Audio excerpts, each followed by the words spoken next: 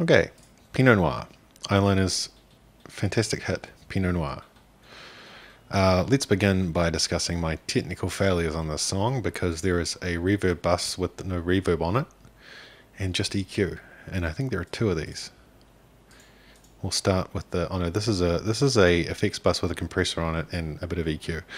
Um, let's just we'll go through right through my wall of shame. So this reverb send is actually just generating a lot of phasing. Um, if you double up a signal and EQ it and put it back, you'll get weird artifacts, but perhaps that was a little unintended secret to its success. Um, this FX2, uh, I don't know what is actually going into that. Maybe nothing. Oh, there is. This was, I think, yeah, another reverb send that had the reverb turned off. So even more phasing and compression. Um, what was the other? There was one more mistake that I made. Um, I'm just going to look at my list. Oh yeah, the tempo. The tempo of the project is 172.647 BPM, which is incredibly annoying. Um, and also the whole song runs at half that tempo. So you'll notice that a a bar is actually um, twice as long as it should be. The whole thing should be half of 172.647. I can't do that in my head, but uh, this is all of a um, a byproduct of using tap tempo. Um, in in Nuendo, you can just tap in a a tempo and it'll give you that tempo at the start. So I would I would work completely blind, tap the tempo out, so I wasn't being um, distracted by the number and then applying that. Um, what I should have done was actually put it down to 172 BPM, but here we are. Um, so we begin with a little um, arpeggiation with some bass.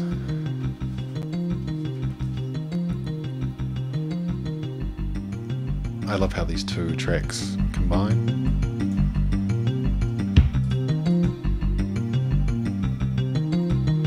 So this is a um, M1 patch on the bass called Multi Bass. Got a mapping from soft to slap. This is the velocity of the MIDI. Um, those are the two. One of the two bass patches I use would be multi bass and slap and thump. Essentially the same thing, except multi bass has a has a less hard um, hard attack on the lower velocities. And the whole tune came out of this one arpeggio ostinato type, this this uh, sort of two chord. We just we're just hitting two chords across pretty much the whole song. There's the second chord. And the same chord, more arpeggio. Because we're going on a little journey. This is a little um, walk through the through the forest. This is what a fine wine should um, evoke on first sip. I have no idea why I called it Pinot Noir. Um, I really don't care for wine too much, but the idea of wine is uh, fascinating.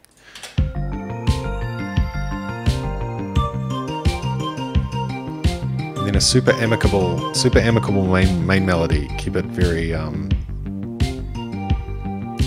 very sort of two part melody, but it's sort of it's sort of treating you nicely, and then a little sort of answer at the end.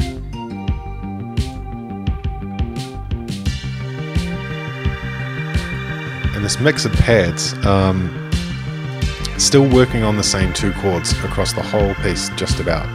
And these are the two chords. Looks a little confusing across octaves but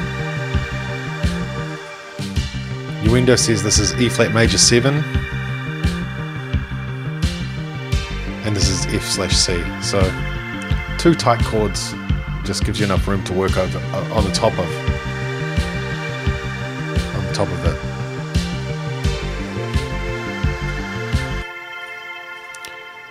For me, this um, and a big a big part of the song is that um, we have this sweep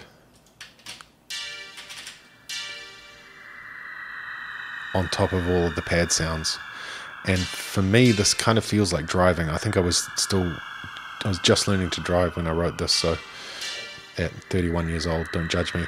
um, but the sort of sensation of speed. Uh, or the kind of the wind sort of whistling past you is a kind of a, a way of sort of implying a journey or implying that you're moving through space. And then the arpeggiator sections more sort of that are coming up, more more moving through space. It's about having the wind on your shoulders and you just Swiss Alps. Could be bicycling, could be anything. Could be could be uh, barefoot running. An incredibly simple beat. Just kicking the snare. And then a little fill at the end of the uh, the bar. Or the measure, whatever you call it.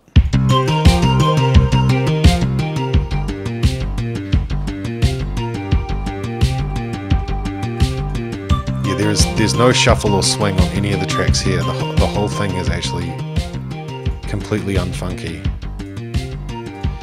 Um, whatever funk it gets is from the accents in the bass, especially on the slap bass solo, and to some extent the offbeats from the um, from the steel drums that are coming up later. Oh, this bit, this, this, is, this is a good bit.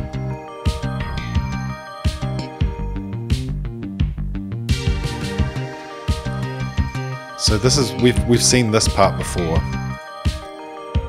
but not with this bass line.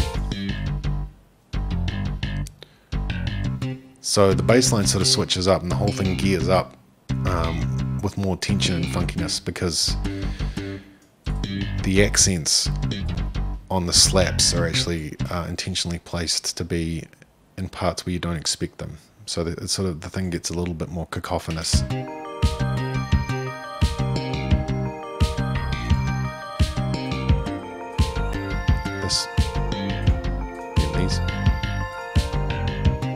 Pairs of accents. Accents on offbeats and on beats accents on weird sixteenths and then this kind of short.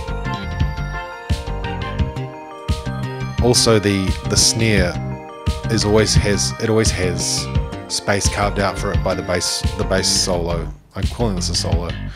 Um,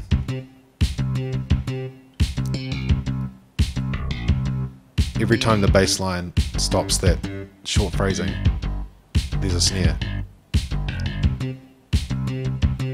I didn't notice when this uh, until I started playing this live because I would mime slap bass and I realized I had time to mime the snare hit as well in between this, the slap bass um, phrases. So this is very much thinking about bass as a percussion instrument and sort of interlocking the kick, the snare, and the bass. But then adding all this texture on top of it to make it just. And those offbeats from Wonderland and Steel Drum. Wonderland is on every eyeliner record. It's a great little pan flute style patch with some cool echo on it. And then we've got HALion One, which is a an included um, plugin with Nuendo 4 that does a lot of acoustic instruments. The steel drum's pretty good in that.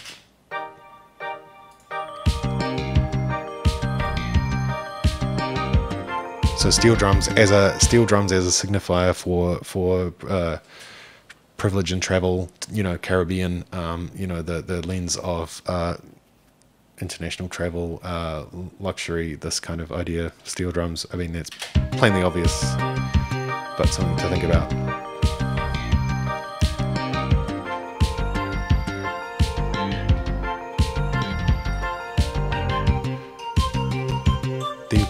Keeping the same idea with the keeping the space and the snare with the with the bass line with a little counter melody on top. Keep it very simple, keep it very direct, keep it very chill for the listener because it's got it's been a little bit busy until now. And then bring back the old elements that we've heard before. The steel drum and the pad sound. So it sort of blossoms out. It's got this like vista opening up. Hopefully. Then we have the second bass solo coming up.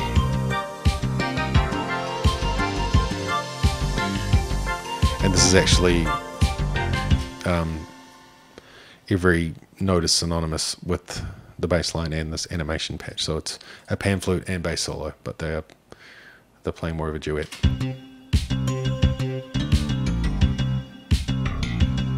Same space for the snare. Break it up here because there's a little, we're, we're crossing into the snare here. We'll do it a couple of times.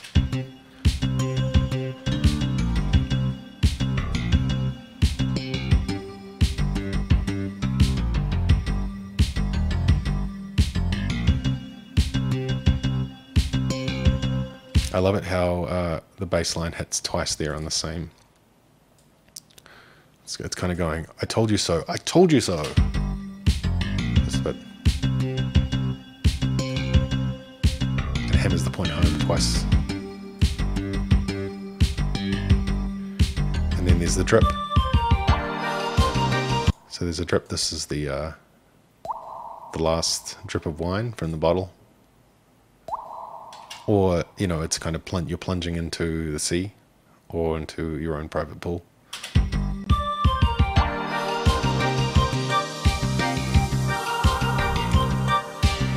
And it culminates in these two these two choir sounds. This, this, is, this is the same choir sound but one's one just has more reverb on it. Um, and it's that kind of expansive um, push. So the first one's short and the second one's long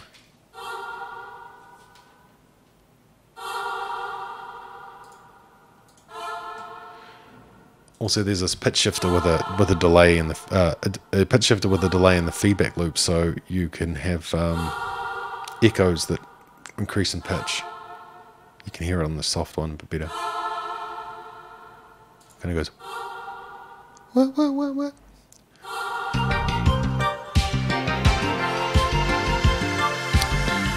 But that's more of a kind of psychoacoustic idea rather than ramming pitch shift uh, over the listener's head. This is just to make it a bit more kind of expansive, a little subtle.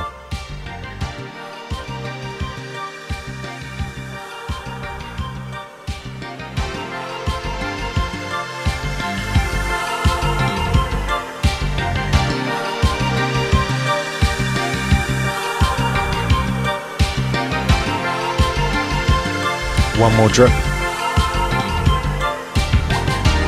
Then they, uh, what I love doing is the eyeliner epiphany moment. This is kind of the uh, the the epiphany. This is the nirvana. This is the satori. This is uh, before the outro. We have this kind of um, glory, glorious bit, um, and it's done pretty much only via sound. There's nothing more additional musically happening.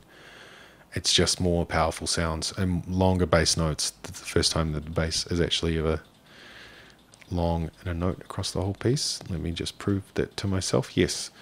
So we have this kind of bed of bass and then the kick drums that are marking out every every bar or yeah, well every two bars, but because of technical issues with the tempo track every bar.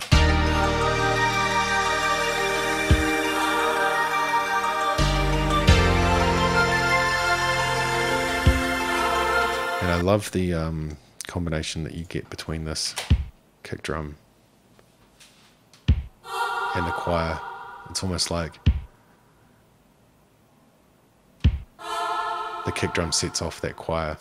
They kind of they kind of linked linked together.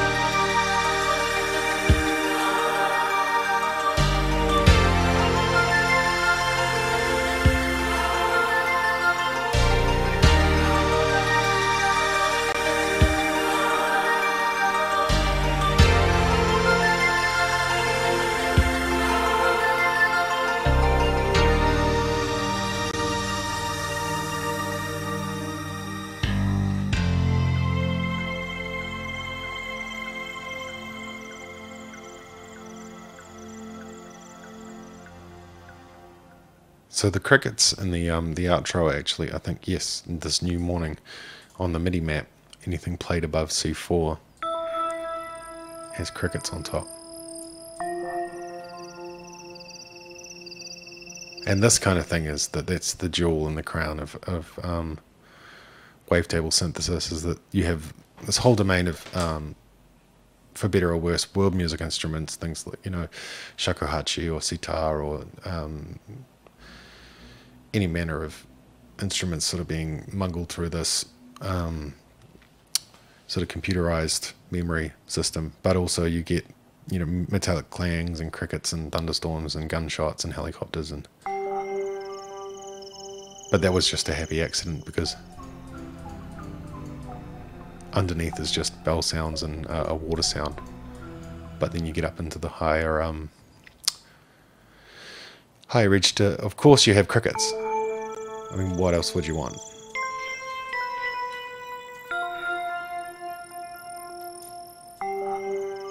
And that's a big part of eyeliner sort of sonic motivation is to use these sort of sounds in their own context and, and also finding a new context. But it's great because you you play a note, you get a cricket. And it is kind of that sort of wine, uh, travel, um, luxury, uh, lifestyle block, um, you know, nature. Um, just on the last, the last note of the piece, there's some beautiful crickets.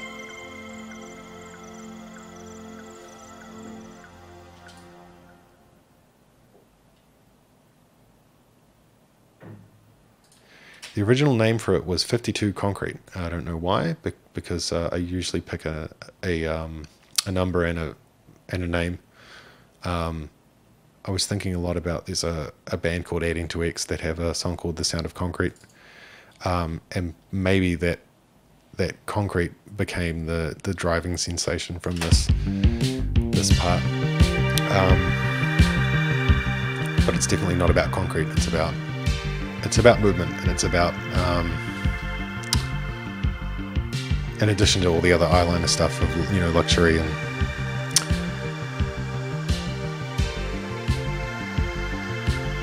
wine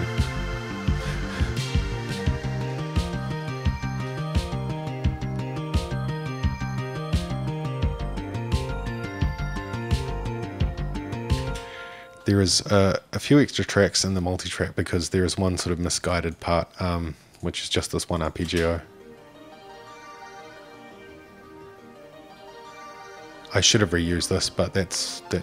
Yeah, that adds a couple more tracks to the to the whole thing. Totally classic. We don't have much working stuff at the end of this last session, but there is, I think, a misguided key change that I tried. Yeah.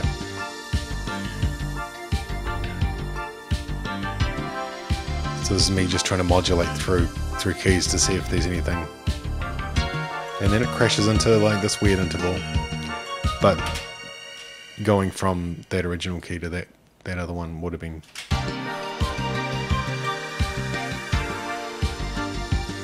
very jazzy. But I I wasn't up to speed technically, musically, with um, being able to do that sort of thing at that point. But that chord is just inexcusable. Never let anyone hear it. See, that's that's the ins and outs of Pinot Noir.